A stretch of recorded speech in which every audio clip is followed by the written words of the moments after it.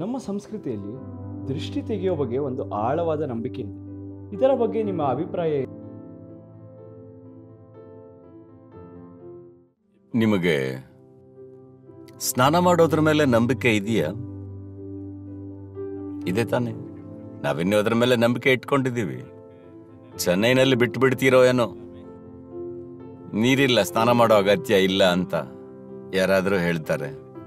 ಯಾರೋ ವಿದೇಶಿಯರು ಪುಸ್ತಕ ಬರೀತಾರೆ. ಸ್ನಾನ ಮಾಡೋ ಅಗತ್ಯ ಇಲ್ಲ. ಹಾಗೆ ಇರಬಹುದು ಟಿಶ್ಯೂ ಪೇಪರ್ನಲ್ಲೇ ಹೀಗೆ ಮಾಡಿದ್ರೆ ಸಾಕು ಅಂತೆಲ್ಲ. ಸ್ನಾನ ಮಾಡೋದು ದೇಹದ ಕೊಳೆ ತೊಳೆಯೋದಕ್ಕೆ ಮಾತ್ರ ಅಲ್ಲ. ನೀವೊಂದು ಕಷ್ಟಕರ ಪರಿಸ್ಥಿತಿ ನಿಭಾಯಿಸಿ ಮನೆಗೆ ಹೋದ್ರಿ ಅಂದ್ಕೊಳ್ಳಿ. ಎರಡು ಬಕೆಟ್.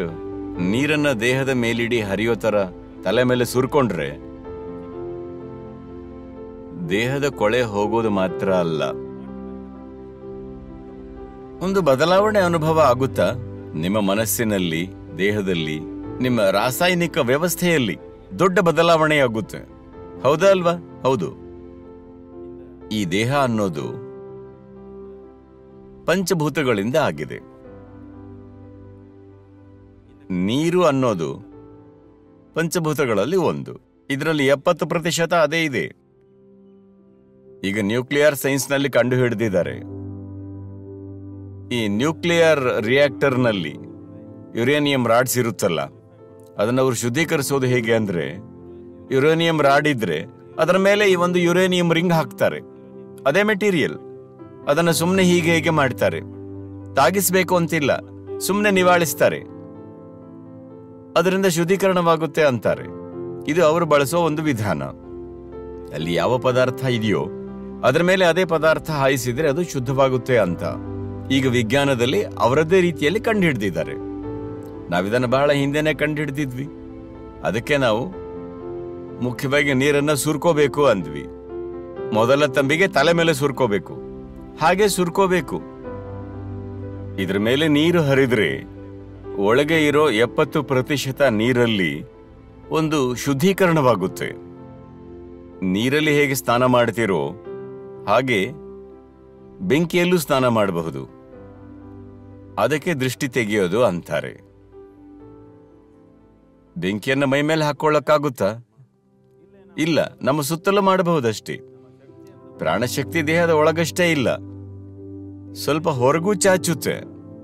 ಹೊರಗಿಂದ ನಮಗೆ ಅಂಟಿಕೊಳ್ಳೋ ನಕಾರಾತ್ಮಕ ವಿಷಯಗಳು ಮೊದಲು ಪ್ರಾಣವನ್ನು ಪ್ರಭಾವಿಸುತ್ತೆ. ಬೆಂಕಿ ನಿವಾಳಿಸಿದರೆ ಅದು ಶುದ್ಧವಾಗುತ್ತೆ. ನಾವು ಕ್ಲೇಶನಾಶನ ಅಂತ ಮಾಡ್ತೀವಿ. ಕ್ಲೇಶನಾಶನ ಅಂದ್ರೆ ಪ್ರಾಣದಲ್ಲಿ ಇರೋ ಕೊಳೆಯನ್ನು ತೊಳೆಯೋ ಒಂದು ಪ್ರಕ್ರಿಯೆ. ಸುಮ್ಮನೆ ಕೂತು ಬೆಂಕಿಯನ್ನ ಹೀಗೆ ಹಾಗೆ ಮಾಡಿ ನೋಡಿ. ಅದಕ್ಕೊಂದು ವಿಧಾನ ಇದೆ, ಅದು ಗೊತ್ತಿಲ್ಲದಿದ್ರು ಸುಮ್ಮನೆ ಹೀಗೆ ಮಾಡಿದ್ರು ಒಂದು ವ್ಯತ್ಯಾಸ ನೋಡಬಹುದು. ಸ್ವಲ್ಪ ಡಲ್ ಆಗಿದ್ದವರು ಉಲ್ಲಾಸಗೊಳ್ತಾರೆ. ಅದಕ್ಕೆ ಮಾಡಿದ್ರು, ಪಬ್ಲಿಕ್ನಲ್ಲಿ ಕೂತಾಗ. ಹಲವು ರೀತಿಯ ಪ್ರಭಾವ ಬೀರುತ್ತೆ. ಅದಕ್ಕೆ ಇದನ್ನ ಮಾಡಿದ್ರು. ಇಲ್ಲಾಂದ್ರೆ ನಮ್ಮೊಳಗೆ ಅಗತ್ಯವಾದ ಆಧ್ಯಾತ್ಮಿಕ ಶಕ್ತಿ ಇರಬೇಕು. ಅದಕ್ಕೆ ಬೇಕಾದ್ದನ್ನು ಆಂತರ್ಯದಿಂದಲೇ ಮಾಡ್ಕೋಬಹುದು.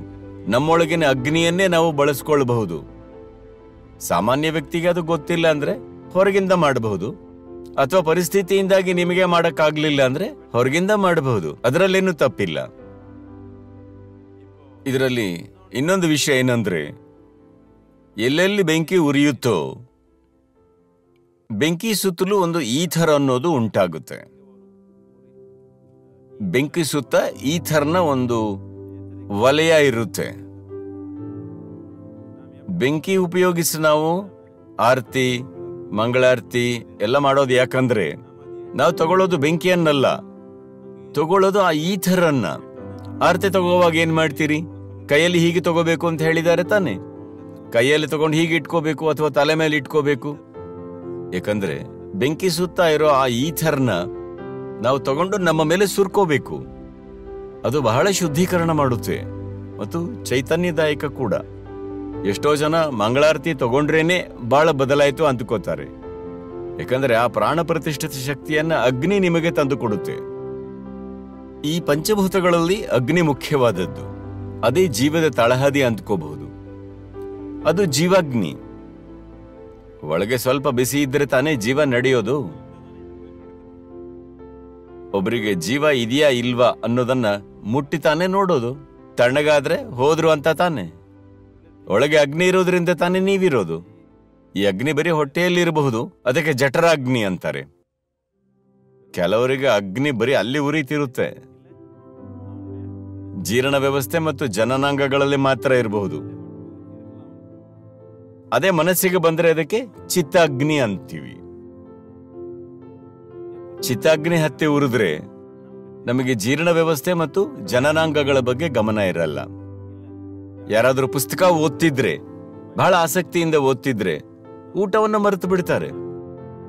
ಯಾರು ಬಂದ್ರು ಹೋದ್ರು ಗೊತ್ತಿರಲ್ಲ, ಚಿತ್ತಾಗ್ನಿ ಉರಿದ್ರೆ ಅವರಿಗೆ ಜೀರ್ಣ ವ್ಯವಸ್ಥೆ ಮತ್ತು ಜನನಾಂಗ ವ್ಯವಸ್ಥೆ ಮೇಲೆ ಗಮನವೇ ಇರಲ್ಲ. ಅದೇ ರೀತಿ ನಾವು ಭೂತಾಗ್ನಿಯನ್ನ ನಮ್ಮೊಳಗೆ ಹೊತ್ತಿಸಬಹುದು. ಯೋಗಿ ಏನು ಮಾಡ್ತಾನಂದ್ರೆ, ಅವನಿಗೆ ಜಠರಾಗ್ನಿಯೂ ಬೇಡ, ಚಿತ್ತಾಗ್ನಿಯೂ ಬೇಡ, ಭೂತಾಗ್ನಿ ಬೇಕು. ಏಕೆಂದ್ರೆ ಎಲ್ಲಾ ಪಂಚಭೂತಗಳು ಒಂದು ತೇಜಸ್ಸಿನಿಂದ ಬೆಳಗಬೇಕು. ಆತ್ಮಾಗ್ನಿ ಅನ್ನೋದು ಇದೆ, ಅದನ್ನು ಬೆಳಗಬಹುದು. ಜೀವ ಅನ್ನೋದು ಒಂದು ಅಗ್ನಿ, ಜೀವಾಗ್ನಿ. ಈ ಜೀವಾಗ್ನಿ ಬರೀ ಜಠರಾಗ್ನಿಯಾಗಿ ಕೆಲಸ ಮಾಡಬಹುದು, ಚಿತ್ತಾಗ್ನಿಯಾಗಿ ಕೆಲಸ ಮಾಡಬಹುದು. ಭೂತಾಗ್ನಿಯಾಗಿ ಕೆಲಸ ಮಾಡಬಹುದು ಅಥವಾ ಆತ್ಮಾಗ್ನಿಯಾಗಿ ಕೆಲಸ ಮಾಡಬಹುದು. ಹೀಗೆ ನಮ್ಮೊಳಗಿರೋ ಈ ಅಗ್ನಿಯನ್ನ ನಾವು ಪರಿವರ್ತಿಸಿಕೊಳ್ಳಬೇಕು ಅಂದ್ರೆ ಹೊರಗಿನ ಅಗ್ನಿಯನ್ನ ಬಳಸೋದ್ರಲ್ಲಿ ಏನು ತಪ್ಪಿಲ್ಲ. ಅದನ್ನ ಬಳಸೋ ವಿಧಾನ ತಿಳ್ಕೋಬೇಕು. ನಾವು ಬಾಳಲ್ಲಿ ಮಾಡೋ ತಪ್ಪುಗಳಿಗೆಲ್ಲ ಯಾರದ್ದೋ ಕಣ್ಣು ಬಿತ್ತು ಅಂದ್ರೆ ಮೂಢನಂಬಿಕೆಯಾಗಿ ಬಿಡುತ್ತೆ ವಿಜ್ಞಾನವಾಗಿರೋದು ಮೂಢನಂಬಿಕೆಯಾಗಿ ಯಾವಾಗ ಮಾರ್ಪಾಡಾಯ್ತು ಅಂದ್ರೆ ಎಲ್ರು ಏನೇನೋ ಹೇಳೋದಕ್ಕೆ ಶುರು ಮಾಡಿದ್ರು. ಎಲ್ರು ಏನೇನೋ ಹೇಳ್ತಾ ಹೋದ್ರೆ ವಿಜ್ಞಾನವಾಗಿರೋದು ಅಜ್ಞಾನವಾಗುತ್ತೆ.